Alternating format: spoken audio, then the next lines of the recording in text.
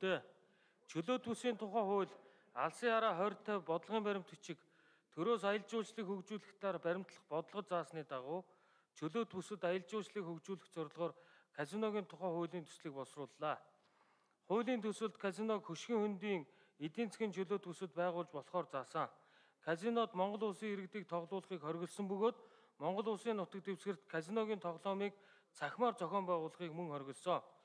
Казино эрхлэгч нь казиногийн байгууламж барих үйл ажиллагаа эрхлэхэд зориулсан 300 сая Америк доллароос доллартай тэнцэх хэмжээний төгрөгөөс доошгүй хэмжээний хөрөнгө оруулалтыг тусгай зөвшөөрөл авснаас хойш 3 жилийн дотор Монгол улсад оруулахар заасан.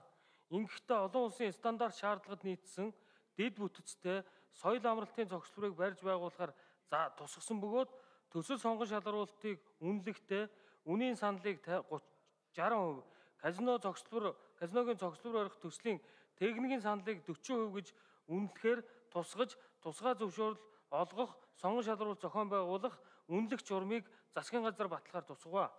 Казино эрхлэгчийг ихээхэн хэмжээний хөрөнгө оруулалт оруулах шаардлага тавьсан тул энэ төрлийн бизнесийг тогтвортой байдлыг хангах үүднээс казиногийн тусгай зөвшөөрлийг Монгол улсын хууль тогтоомжийн дагуу байгуулагдсан компанид зөвлөлийн саналыг үндэслэн засгийн газар 30 жилийн хугацаагаар олох бөгөөд тусгай зөвшөөрлийн хугацаа дуусвар болсон тохиолдолд казино эрхлэгч хувьцааныхаа 50%-ийг Монгол улсын засгийн газар дүн төлбөргүй шилжүүлэхээр тусгалаа төсөлд.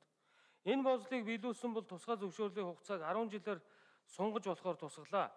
Мөн казиногийн хуулийн хэрэгжилтийг энэ багц хуулиудын дагуу зохион байгуулагдах мөрөөдөө тоглоомын асуудалд хариуцсан зөвлөлийн хариуцсан зохион байгуулах бөгөөд зөвлөлийн ажлын албанд улсын байцаагч ажиллаж хяналт тавина. Татврын хувьд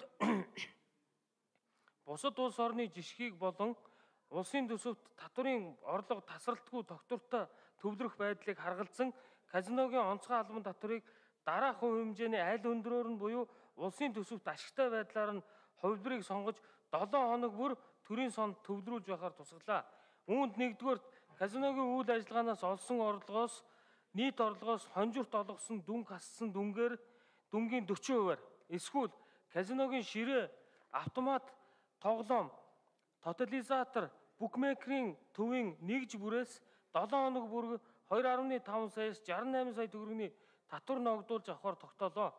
Онцгой албан татвар хувь хэмжээг өндөр хувиар тогтоосон тул үйл ажиллагаа эрхлэгчийг аж ахуйн нэгжийн орлогын албан татвар, нэмэгдсэн өртгийн албан татвараас чөлөөлөх зарчмыг баримтлсан бөгөөд казино эрхлэгчид өндөр татвар ноогдуулсан тул тоглогчийн хонжирын орлогод хувийн орлогын албан татвар ноогдуулахгүй байгаар тус тус тусгалаа.